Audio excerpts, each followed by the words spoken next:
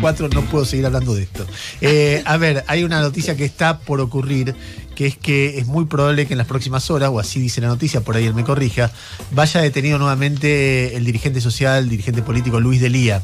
Eh, Luis Delía estuvo preso en diciembre del año pasado, eh, ciento y pico de días, por de una manera completamente injusta, dispuesto por el, por el juez federal Claudio Bonadío, en una causa que no se entiende qué le recriminaban.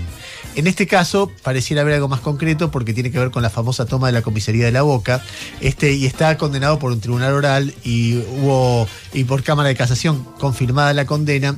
Y lo que ha ocurrido es que la Cámara de Casación dijo no da lugar al recurso extraordinario ante la Corte, con lo cual la condena tiene, queda firme y el próximo paso eh, lógico respecto de este recorrido. No digo que sea justo, sino que lo que uno espera es que el Delía vaya preso nuevamente. A ver, no sé si expliqué bien cuál es el proceso judicial. Sí, sí, lo explicaste bien. Bueno, eh, contanos qué pensás que va a pasar, tu reacción, tus argumentos. Oral Federal 6, por la protesta en la comisaría de la Boca el día que asesinaron a Martín Cisneros, me dio cuatro años de prisión.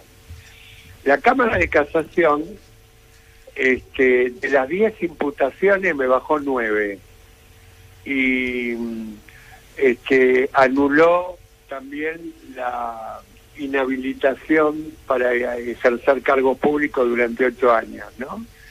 O sea, de 10 imputaciones me sacó 9. Ahora, de los 4 años, después de haberme bajado 9 imputaciones, solo me bajó 3 veces. No sé si me entendés.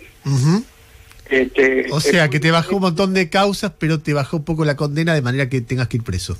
Claro, o sea, evidentemente eh, los jueces que conforman esa Cámara, bueno, Mike es ministro de Vidal hasta hace poquito, eh, un hombre de Videla, un hombre que se hace juez durante la dictadura, bueno, estos son los tribunales que tenemos eh, de los cuales había 40 imputados, este, al único imputado para el cual no prescribió la, la causa para mí, ¿entendés? Es que la causa estuvo dormida 14 años, la resucitaron el año pasado y ahora me meten preso por una protesta social que yo acompañé a raíz del crimen de un dirigente como Martín Silero. Y te cuento una paradoja de la historia el que asesinó a Martín Cisneros, Juan Carlos Duarte, un sicario que vendía droga para la comisaría 24 de la Boca, estuvo nueve años preso,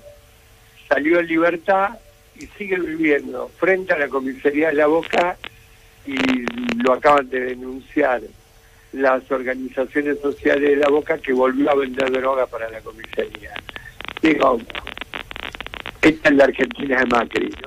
Luis, eh, ¿te corresponde, según lo que dictaminó la Cámara de Casación, qué condena ahora? No, no, eh, que cuatro me bajaron nueve imputaciones y de cuatro años me bajaron a tres años y nueve meses. Y deberías cumplir la mitad de eso, o sea... No, hoy puedo cumplir los cuatro años del cumplimiento efectivo. Ahora, ¿querés que te diga algo? Si vuelven a matar un dirigente como Martín en cualquier lugar del país, yo estoy en vinculado a esto, vuelvo a acompañar la protesta.